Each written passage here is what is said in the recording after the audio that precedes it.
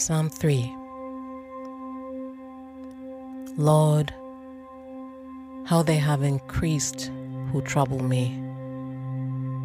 Many are they who rise up against me. Many are they who say of me, There is no help for him in God. Selah. But you, O Lord, are a shield for me, my glory and the one who lifts up my head. I cried to the Lord with my voice, and he heard me from his holy hill. Selah. I lay down and slept. I awoke, for the Lord sustained me.